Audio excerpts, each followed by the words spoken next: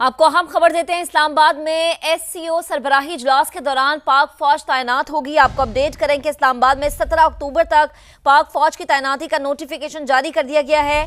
पाक फौज की इस्लामाबाद में तैनाती आर्टिकल 245 के तहत की गई है। नोटिफिकेशन जारी हो चुका है।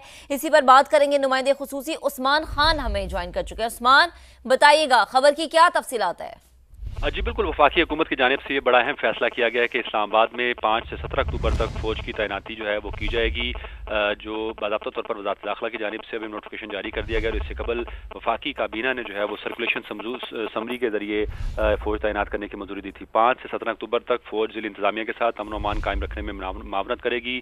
आइन के आर्टिकल दो सौ पैंतालीस के तहत वफाकी काबीना ने फौज तैनात करने की मंजूरी दी है। तो अब तमाम हसास इमारतें जो है और रेड जोन जो है मुकम्मल तौर पर सील कर दिया जाएगा और इनकी सिक्योरिटी जो है वो पाक फौज के हवाले होगी। किसी भी गड़बड़ की सूरत में जो है वो पाक फौज अपना रद्द अमल देगी और ये अहम तैनाती है हुकूमत की जानब से जो कि अमन अमान के क्याम के लिए यकीनी बनाने के लिए की गई है और सर, सबसे अहम मामला जो है वो एस सी ओ कॉन्फ्रेंस जो इस्लामाबाद में हो रही है, उसके इनका को यकीनी बनाने के लिए सिक्योरिटी मैयर लिया गया और वफाकी हुकूमत ने फौज तैनात करने की इस्लामाबाद में बाबा तौर पर मंजूरी दे दी है और इसका नोटिफिकेशन भी जारी कर दिया गया ठीक है, उस्मान, आपका बेहद शुक्रिया। तो इस्लामाबाद में एस सी ओ सरबराही इजलास के दौरान पाक फौज तैनात होगी। इस्लामाबाद में सत्रह अक्टूबर तक पाक फौज की तैनाती का नोटिफिकेशन जारी हो चुका है। पाक फौज के इस्लामाबाद में तैनाती आर्टिकल दो सौ पैंतालीस के तहत की गई है।